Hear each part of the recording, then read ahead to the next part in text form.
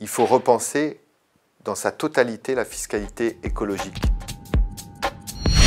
La situation telle qu'elle est aujourd'hui est trop injuste. Par exemple, les grandes entreprises aujourd'hui payent 22 euros la tonne de CO2, alors que ce qu'on demandait aux citoyens, et notamment à ceux qui n'ont pas beaucoup d'argent, euh, ça correspondait au double, 44 euros la tonne de CO2. Donc on voyait que les citoyens payaient euh, plus leur tonne de CO2 que les entreprises. Ça, ça fait partie des choses à corriger. Il y a peut-être des nouveaux secteurs aussi euh, industriels, le transport maritime, le transport aérien, qui pourraient plus contribuer qu'aujourd'hui à cette fiscalité écologique et qu'on demande un peu moins aux citoyens, un peu plus aux très grandes entreprises. Je donne un exemple parmi d'autres, mais là le gouvernement vient de décider de supprimer la taxe d'habitation pour les 20% les plus riches, les plus aisés.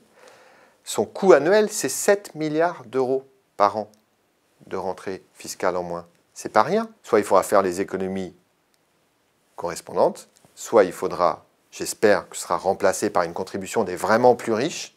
Il y a plein de manières de le faire. Euh, soit ce sera de l'argent dont dispose en moins pour déployer des politiques publiques dans tous les domaines dont celui de la transition. Il faut repenser cette fiscalité écologique pour qu'elle soit plus juste socialement, qu'elle soit plus équitable. Ça peut être d'ailleurs des baisses de fiscalité sur des sujets comme les transports en commun, par exemple. Ça peut être aussi comment on accompagne beaucoup mieux les citoyens dans cette transition écologique. Et c'est tout sauf le retour de l'augmentation de la taxe carbone. D'autres pays nous ont montré la voie, d'autres États, Colombie-Britannique par exemple, une province canadienne, les Suédois, on a plein d'exemples. Il faudrait réfléchir à aller plus loin. Pour les ménages euh, précaires, les ménages modestes.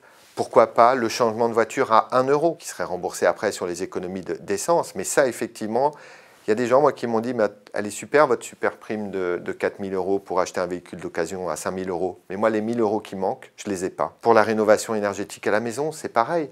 11 millions de Français n'arrivent pas à se chauffer aujourd'hui parce que leurs maisons sont mal isolées et que l'énergie est trop chère.